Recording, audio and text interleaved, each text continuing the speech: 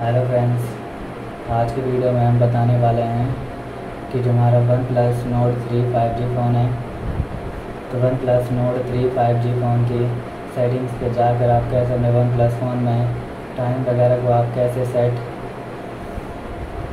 कर पाएँगे अपने वन प्लस फ़ोन में तो आज हम वीडियो में बताने वाले हैं। कि वन प्लस फ़ोन में आप टाइम वगैरह को कैसे सेट कर सकते हैं? टाइमिंग को कैसे अपने फ़ोन पे लगा सकते हैं? OnePlus Nord three five G phone में। तो बताने वाले हैं कि टाइमिंग को सेट कैसे करें। तो वीडियो स्टार्ट करने से पहले हमारे चैनल को लाइक करें सब्सक्राइब करें, साथ में ही बेल आइकन दबाना ना भूलें। तो आइकन शो हो रहे हैं। इसमें आपको स्वाइप करना है। स्वाइप करते ही और आइकन सब हो जाएँगे। इस पर जाकर अपने फ़ोन का टाइमिंग वगैरह आप सेट कर सकते हैं। कर पाएँगे अपने फ़ोन में। जिसका आप यूज़ भी कर सकते हैं और कर सकते हैं अपने फ़ोन में, जिसका आपको जाना होगा। सेटिंग्स पर क्लिक करते ही फ़ोन की सेटिंग से ओपन हो जाएगी।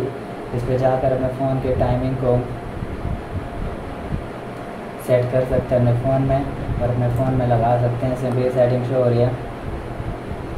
तो एडिशनल सेटिंग्स पे जाना, इस पर जाकर डेट एंड टाइमिंग का ऑप्शन से शो होता है। जहाँ से टाइमिंग पे जब आप क्लिक करते हैं, जो भी टाइमिंग आप सेट करना चाहते हैं तो इस तरह स्लाइडिंग करके कर सकते हो टाइमिंग आपका सेट हो जाएगा, जो भी सेट करना चाहेंगे तो लग जाएगा डेट वगैरह भी चेंजेस करना चाहते हैं तो आप कर सकते हैं।